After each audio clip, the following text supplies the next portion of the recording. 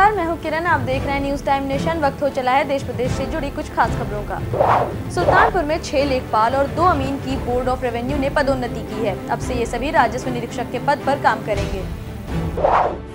सुल्तानपुर में उत्तर प्रदेशीय प्राथमिक शिक्षक संघ ने बीएसए को ज्ञापन सौंपा है। इस ज्ञापन में शिक्षकों की कई समस्याओं के निदान की मांग की गई है। सुल्तानपुर में वरिष्ठ समाज सेवी और पूर्व लोकसभा प्रत्याशी शकील अहमद ने ईदी के तौर पर गरीबों को कपड़े और पैसे बांटे। आपको बता दें, शकील अहमद हर साल अपने पिता की याद में ये आयोजन करते हैं। सुल्तानपुर में एसडीएम लंबुआ, महेंद्र कुमार श्रीवास्तव के नेतृत्व में ज्वाला फ्यूल स्टेशन शंकरपुर पखरौली का निरीक्षण किया गया। इस दौरान तेल का सैंपल लेकर प्रयोगशाला भी भेजा गया है। सुल्तानपुर में उत्तर प्रदेश मदरसा शिक्षा परिषद की परीक्षाएँ 14 मई से शुरू होंगी, जो कि 23 मई तक चलेंगी। ये परीक्षाएँ कामिल और फाजिल की होंगी।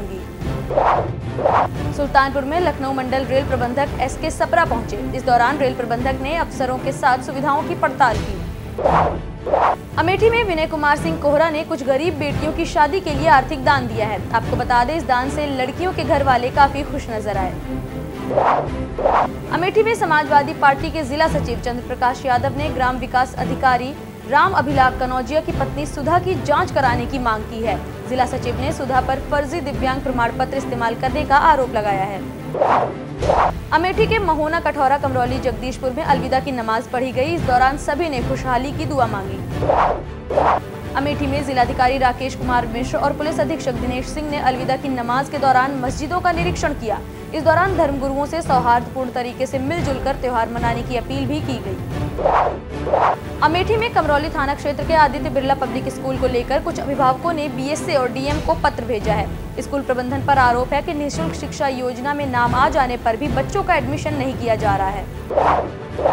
अयोध्या में मुस्लिम धर्मगुरुओं ने एसएसपी शैलेश पांडे से मुलाकात की। धर्मगुरुओं ने मस्जिद के सामने आपत्तिजनक पोस्टर फेंकने वाले बदमाशों को गिरफ़्तार करने के लिए पुलिस प्रशासन को मुबारकबाद दी है। अयोध्या में चौक टाट शाह मस्जिद समेत सभी मस्जिदों में अलविदा की नमाज़ पढ़ी गई। पूरी नमाज़ के दौरान शहर में सुरक्षा व्यवस्था के पुख्ता इंतज़ाम देखने को मिले। बहराइच के फखरपुर थाना क्षेत्र में लगे मंदिर और मस्जिदों से लाउडस्पीकर उतरवाया जा रहा है। आपको बता दें, जिन मस्जिदों और मंदिरों में लाउडस्पीकर की परमिशन है वहाँ धीमी आवाज़ में सिर्फ़ एक लाउड स्पीकर लगाने की अनुमति दी गई है। बहराइच में गौवंशों की सुरक्षा के लिए भूसा दान अभियान चलाया गया है। इस दौरान दान करने वाले लोगों को उचित मंचों पर सम्मानित भी किया जाएगा।